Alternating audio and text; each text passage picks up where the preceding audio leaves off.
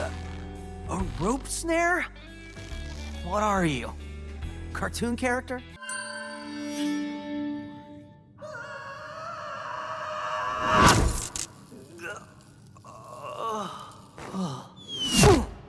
Whoa!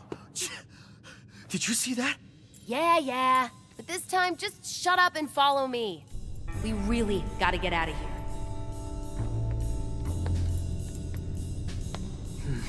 No complaining this time.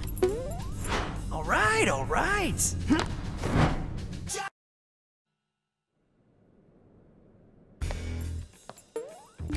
Are you scared? What? No. I mean, it is a little dark. Uh, hey, there are no spiders down here, right? Or like robot spiders? Oh, please don't let there be robot spiders. This it? In here. Uh, hello? Catbot?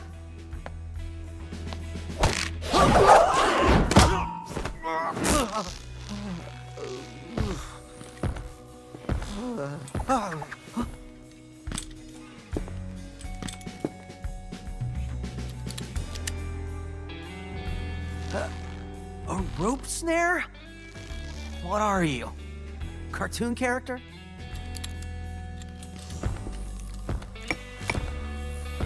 So that's where the magic happens, huh?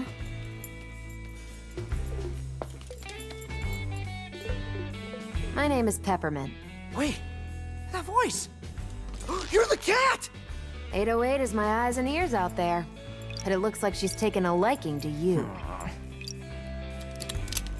Wait, wait, wait, okay, she's yours! She's yours!